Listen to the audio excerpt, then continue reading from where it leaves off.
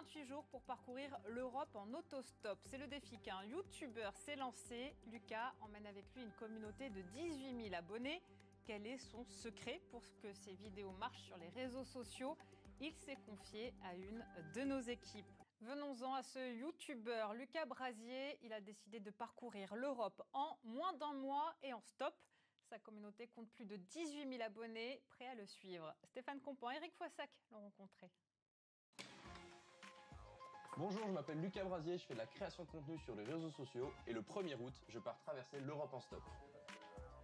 Avant de se lancer dans ce défi, Lucas a commencé à pratiquer les réseaux sociaux il y a 7 ans en publiant des vidéos sur ses études scientifiques, des conseils suivis par plus de 10 000 followers. Quand je suis arrivé en prépa scientifique, j'avais pas envie que ceux qui arrivaient après moi aient le même a priori. Donc j'ai pris mon téléphone et je me suis filmé tous les jours en faisant une vidéo sans montage et en disant bah voilà, je vous raconte le quotidien d'un élève en prépa MPSI. C'est pas la vérité absolue ni générale, mais c'est le point de vue d'un des 40 000 étudiants. Et si ça peut aider certaines personnes, tant mieux. Une chaîne YouTube, des centaines de vidéos et des rencontres avec des sportifs ou encore des influenceurs. Aujourd'hui, la chaîne a trouvé son audience, 500 000 vues chaque mois, toutes plateformes confondues. Les défis s'enchaînent, Eurostop est le prochain.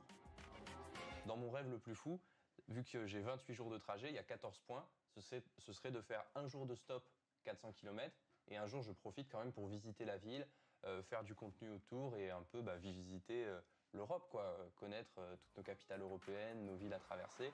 5000 km en autostop, 10 pays à parcourir seul en 28 jours. Ouvrez-vous aux gens et aux rencontres que vous pouvez faire sur la route ou au quotidien dans votre vie de tous les jours. Plus qu'un défi, un véritable voyage initiatique, une expérience dans le réel.